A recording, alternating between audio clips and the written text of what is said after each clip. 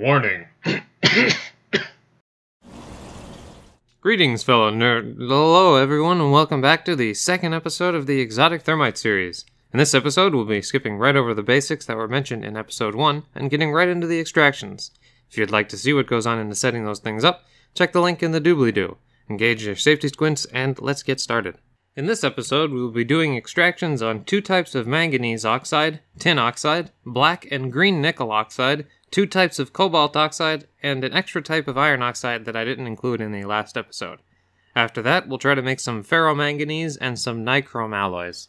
The first element we're going to take a look at is manganese. Now, I won't be showing the small scale preliminary tests I did before scaling up to the larger final reactions like I did in the first episode, but they're absolutely necessary to do in order to remain safe. But that is no guarantee of anything.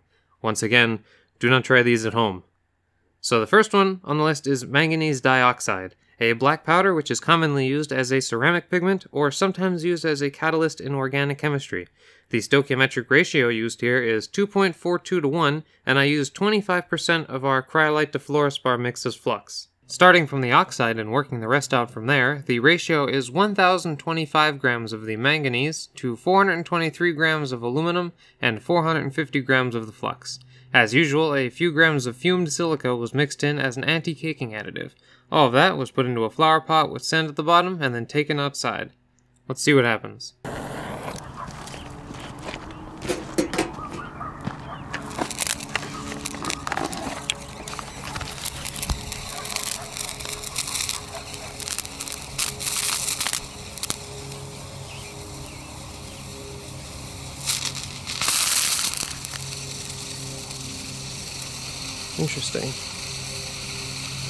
Too much flux?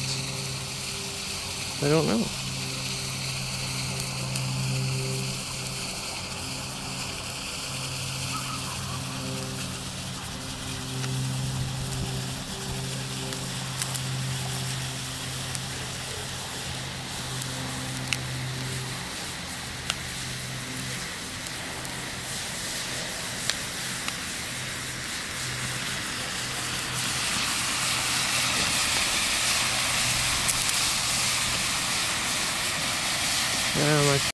Tripod.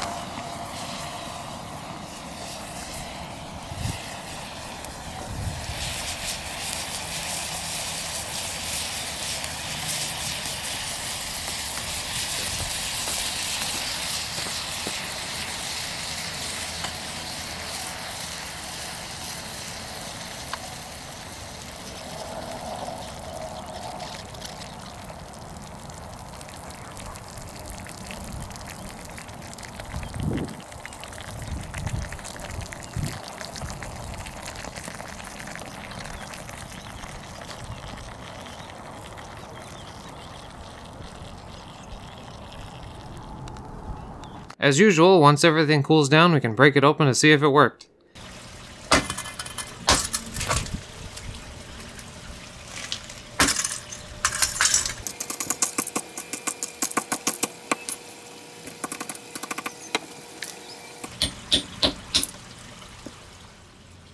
And here we have 274.3 grams of some shiny and quite colorful manganese metal.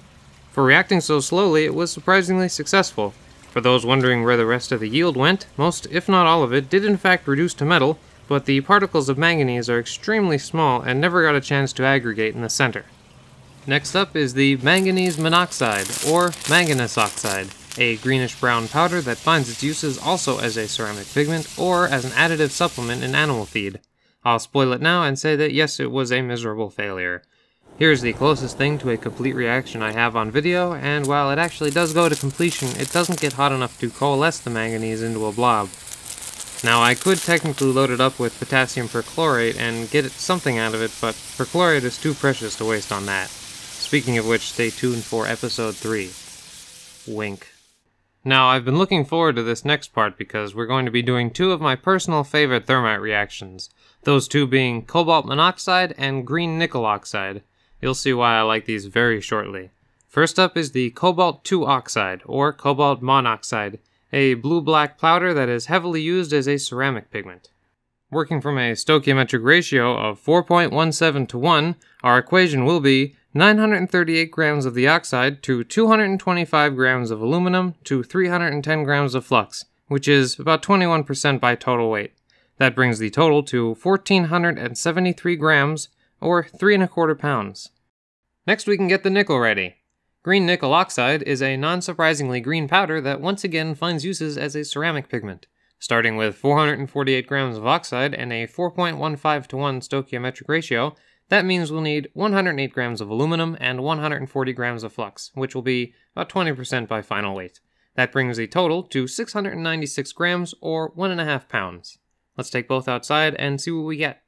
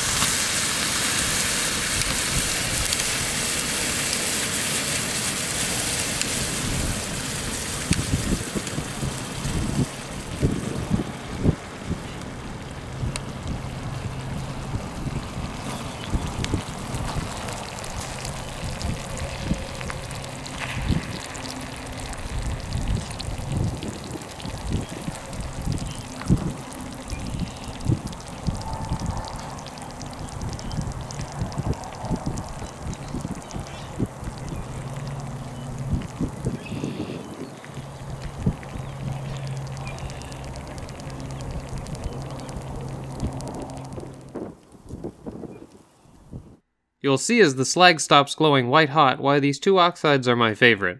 As a byproduct of the extraction, some oxide will sinter together with the aluminum oxide in the slag and form cobalt slash nickel aluminate. If you're wondering why the cobalt looks familiar, that's because it's the same pigment used to tint glass bottles blue. Anyway, now that they've cooled off and I've stared at them long enough, we can break them open. There's really not much to say about the nickel besides the color. Reacted, compacted, and extracted 255.4 grams of metal with no real issue. No issue, at least, compared to the blue colored rabbit hole next to it. So, about that. What happened? Is it even cobalt monoxide? Well, judging by the color of the slag and the fact that the reaction did complete, just not enough to make one piece of metal, we could say it's definitely an oxide of cobalt. Which one is it, though? Well, since there are really only two commercially available oxides of cobalt, and since it must not be the monoxide, my guess it was sold as a partially hydrated cobalt 2-3 oxide. But as usual, that's complete speculation. But because I was determined to have both reactions turn their colors at the same time in one single camera shot, I ordered another kilo of the same cobalt, and what a surprise, it was the same barely reactive cobalt oxide. So I did what anyone else in my situation would have done. I filled it with more aluminum and tried different oxidizers to brute force some of it out. First, I tried different ratios of potassium nitrate with no results. Then I moved up a level and added different ratios of potassium perchlorate all the way up to a 1 to 1 oxide to oxidizer ratio, still with only a whiff of success. I didn't want to buy more of the same oxide like last time, but I couldn't find anyone else that wasn't selling the stuff at $90 a pound. I did get a little discouraged, and I set the cobalt aside while I filmed other reactions in the meantime. That was until I found an eBay seller who had green nickel oxide, red copper oxide, and cobalt monoxide for sale at a fifth of the price that I paid previous. I couldn't resist, of course, and soon almost 10 more pounds of various metal oxides was in my mailbox. I mixed up some small tests and saw the color change I was looking for on both slags, so I scaled them up. We're not done yet, though, unfortunately. So for our second try, we have again cobalt monoxide and nickel monoxide. You may notice the color of the cobalt this time is bluer and the nickel darker. Keep that in mind. So for the cobalt, the ratio will be 707 grams of the oxide to 170 grams of the aluminum to 223 grams of the flux, bringing the total to 1100 grams or 2.4 pounds. And the ratio for the nickel is 953 grams to 230 grams to 200 grams, bringing the total to 1,383 grams or 3 pounds. Let's see if this will be the one.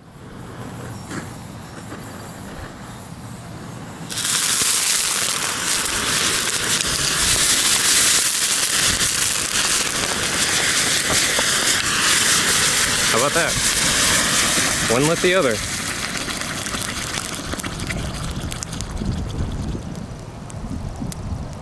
And they didn't break.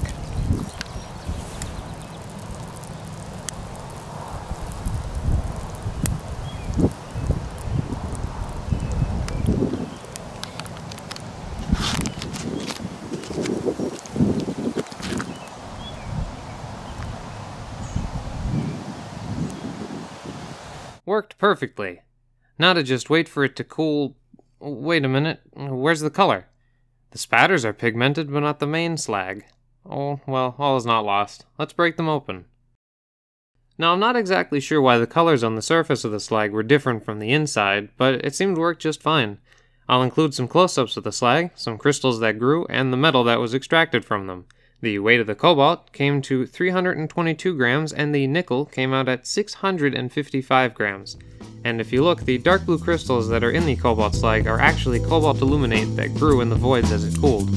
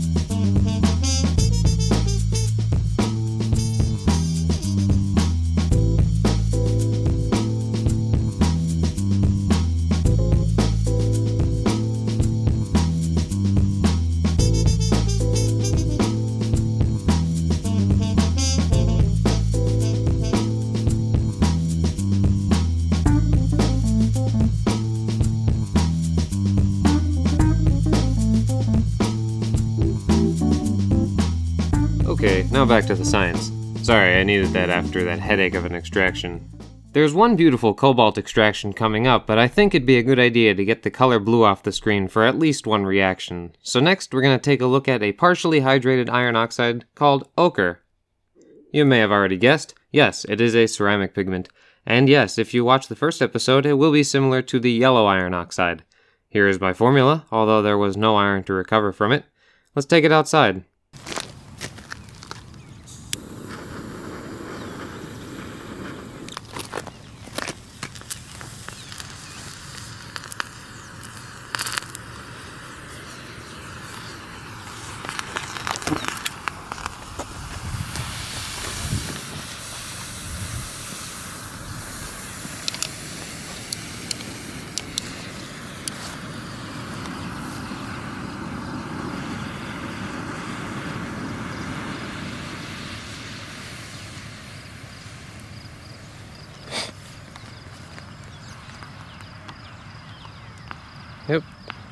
Definitely water in there.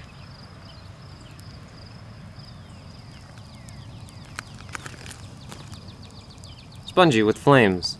As expected, I guess. Now that we're done with the detours, we can move on to the final cobalt extraction. This is the one I was hoping to get.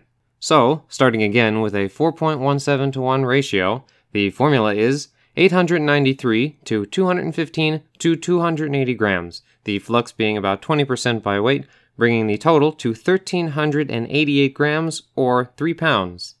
Now I'm going to leave in a little more of the cooldown on this one, but trust me, it's worth it. So let's mix it up and take it outside.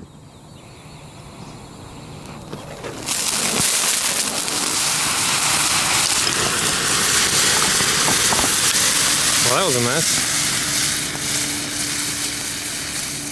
It's going to be a colorful mess.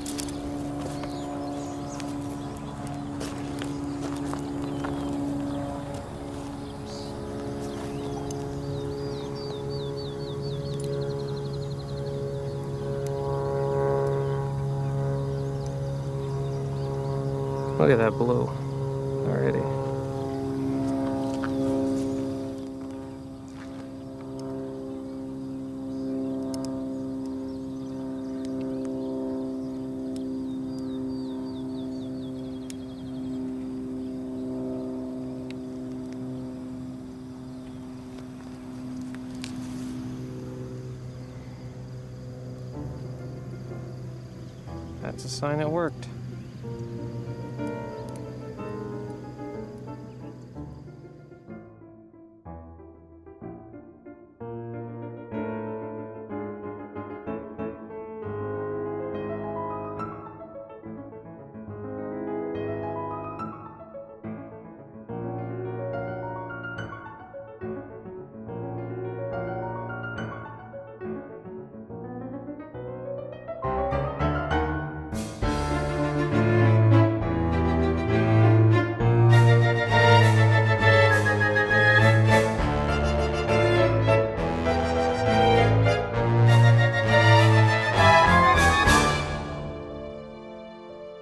So weird.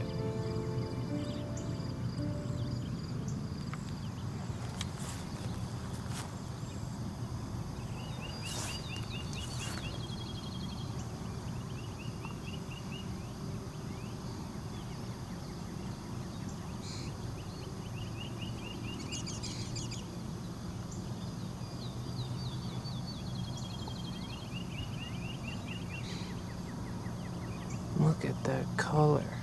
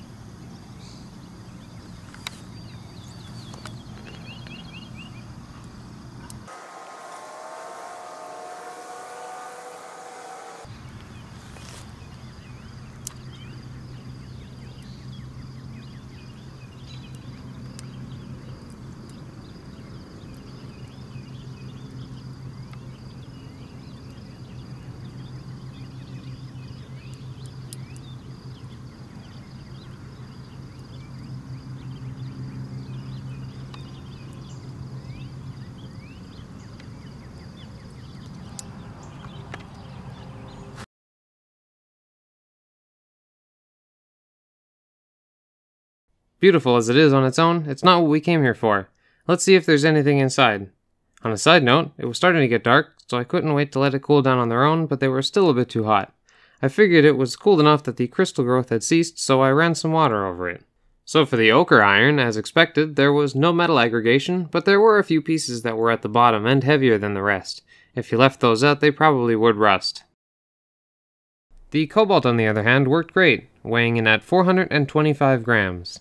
And because I had to wet the slag to cool it down, the shine wasn't as nice, so I dried them off and got better shots inside. Again, we can see plenty of crystal growth in the voids of the slag. I may collect these crystals from all the cobalt slag I've made so far and do something with it, but I'm not sure yet. Uh, cobalt is toxic, so even though we are basically making rocks, you can't just throw it out. It would technically be considered, though, a high-grade cobalt aluminum ore. Just not much of it. This episode is becoming much longer than expected, but we're going to push on through with the rest. So next we'll change things up and take a look at some tin dioxide or stannic oxide, a white powder with a variety of uses from glazes to glass coatings and finds use as a polishing powder for glass and silver. Starting with a stoichiometric ratio of 4.19 to 1 and 1000 grams of oxide, we get a formula like you see here. The total is 1700 grams or 3 and 3 quarter pounds, with the flux being about 27% by total weight. Let's see what happens.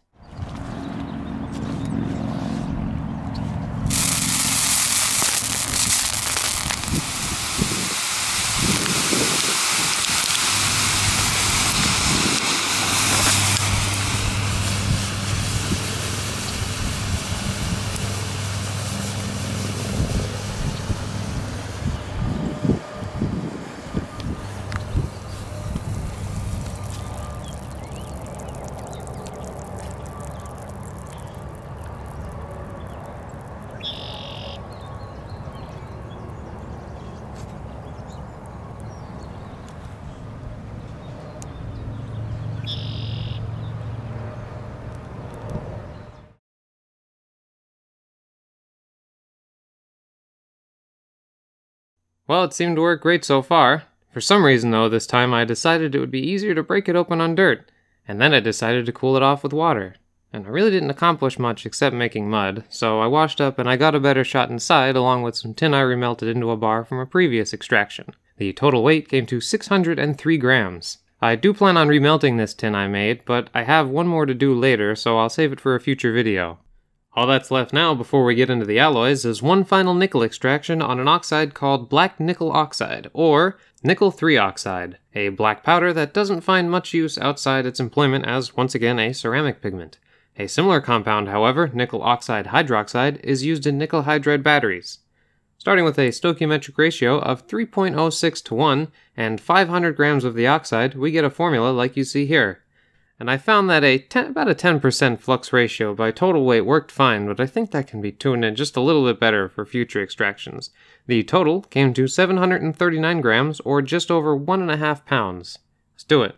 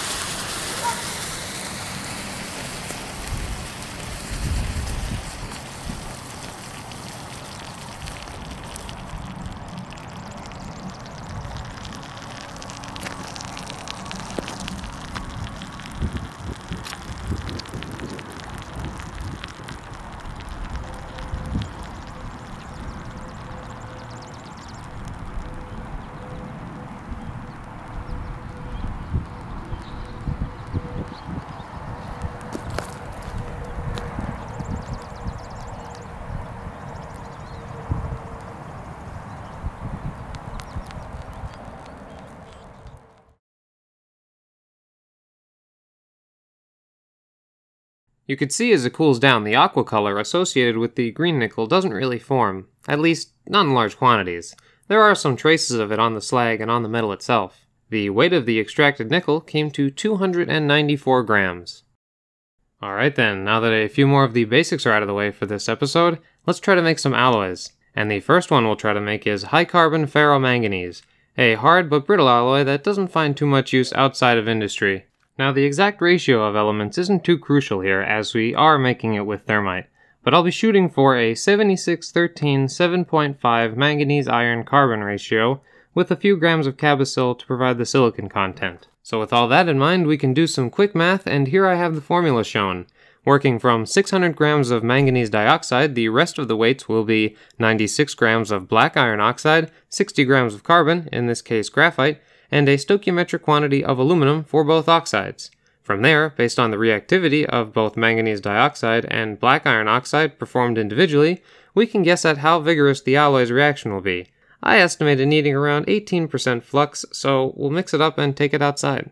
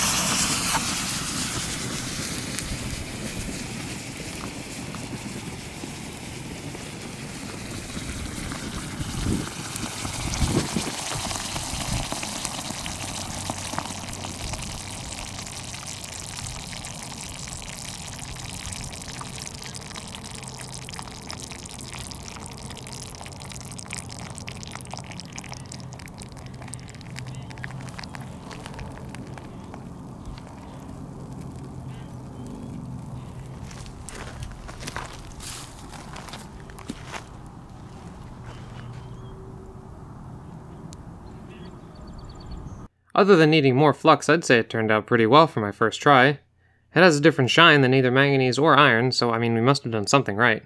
The total extracted weight came to 208 grams. A lot of the metal was visible in the slag, but ultimately unrecoverable. All that's left on our list now is to make nichrome. an almost indispensable alloy usually extruded as a wire for use in heating elements, electric matches, and the like.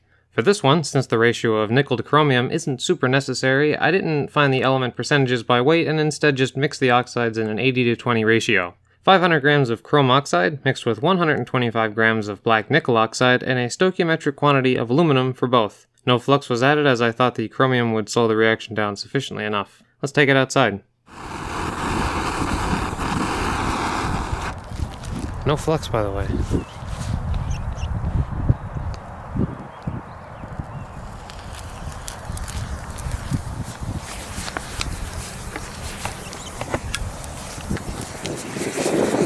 Oh, Look at how bright that is. Holy shit. That's nichrome, alright.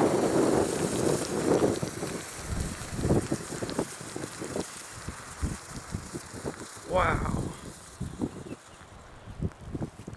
How big?